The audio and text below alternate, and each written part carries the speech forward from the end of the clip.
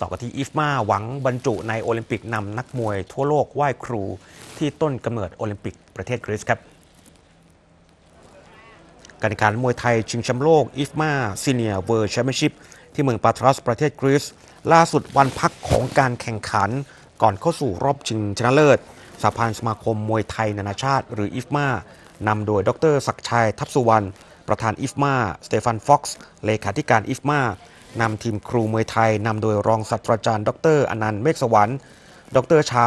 วาทโยธา ครูมวยไทยนานาชาติชื่อดัง นักกีฬา เจ้าหน้าที่ต่างชาติ รวมถึงคณะนักกีฬาทีมชาติไทยเดินทางไปทำกิจกรรมไหว้ครูมวยไทย ณ สนามกีฬาโอลิมปิกโบราณ เมืองโอลิมเปีย ประเทศกรีซ ซึ่งเป็นสถานที่กำเนิดไฟโอลิมปิกจนถึงปัจจุบัน โดยมีผู้เข้าร่วมกว่า 600 คน ก่อนที่สถานีต่อไป IFMA จะนำกีฬามวยไทย ศิลปะประจำชาติ ไปโชว์และโปรโมทระหว่างการแข่งขันกีฬาโอลิมปิก ที่ Olympic Park กรุงปารีสประเทศฝรั่งเศสวันที่ 26 กรกฎาคม ถึง 11 สิงหาคม โดยจะมีบัวขาวบัญชาเมฆยอดนักมวยไทยระดับแม่เหล็กของโลก ร่วมคณะไปโชว์ในครั้งนี้ด้วยสำหรับพิธีไหว้ครูมวยไทยจัดขึ้นเพื่ออุทิศให้กับเทพธิดาในตำนานของกรีกที่ชื่อว่าเฮสเทีย และเพื่อบูชาเทพเจ้าซุส และเทพเฮราจัดขึ้นณ